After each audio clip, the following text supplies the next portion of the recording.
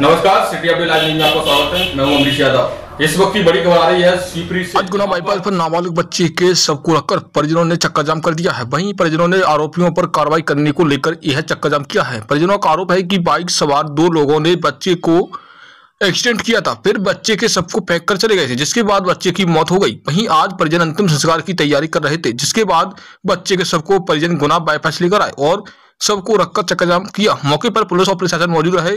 वहीं परिजनों से बातचीत की जा रही है। वहीं मौके पर S T Ajay Bhargava T I Sunil Khamaria और टी आई विकास यादव, यातायात प्रभारी रणवीर सिंह यादव सहित पुलिस बल मौजूद रहे।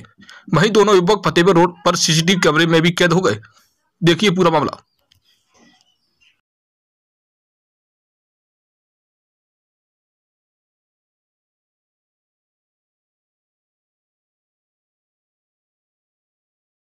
मामला। कल एक एक्सीडेंट हुआ था। पीएम के बाद डेड बॉडी को दास अस्पताल के लिए रवाना किया था, लेकिन उन लोगों ने यहाँ आके डेड बॉडी रख दी थी। उनकी डिमांड ये थी कि आरोपी पकड़े जाए। एक आरोपी मोटरसाइकिल ये पकड़ ली है, दूसरे आरोपी को शीघ्र गिरफ़्तार कर लिया इनको सब क्या आश्वासन दिया? जी? आश्वासन क्या दिया गया इनको? आश्वासन दूसरे आरोपी को गिरफ़्तार करने का दिया गया है और शासन से जो भी सुविधा मिलेगी नियम अनुसार वो दी जाएगी सर आरोपियों की पहचान हो गई है क्या? आरोपियों की पहचान हो गई है। दोनों आरोपियों के नाम खोल दिए गए हैं एफ़